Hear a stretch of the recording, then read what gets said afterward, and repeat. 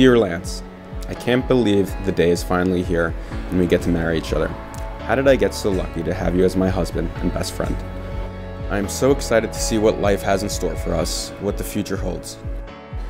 I know everything will always be okay if we have each other, and I promise to always be there for you and support you no matter what. I am so excited to walk down the aisle later and see you smiling under the chuppah. Love, Stacy, almost finding.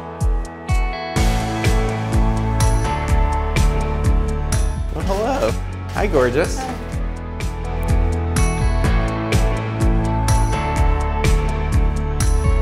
Do you, Lance, take Stacy to be your wife?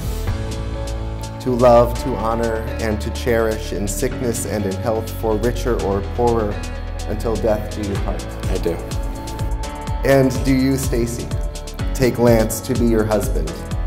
To love, to honor, and to cherish in sickness and in health, for richer or poorer, until death do you part. I do. Mazel tov!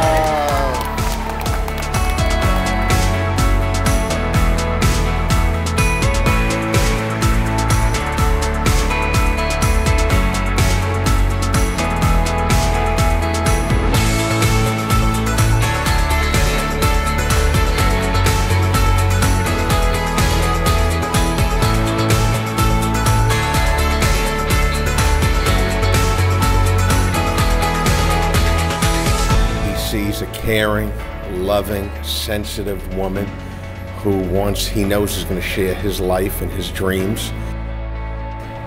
He, he just knows it was the right person for him from the start. The future I see in them is just, just pure happiness. I see the way Lance looks at Stacy, and I see the way Stacy looks at Lance. You can tell it's true love. You just really can. When I look at the two of them, I just, I know that it's real. I'm with Lance and Stacy, I'm always laughing, but I'm often speechless at how well they really understand each other.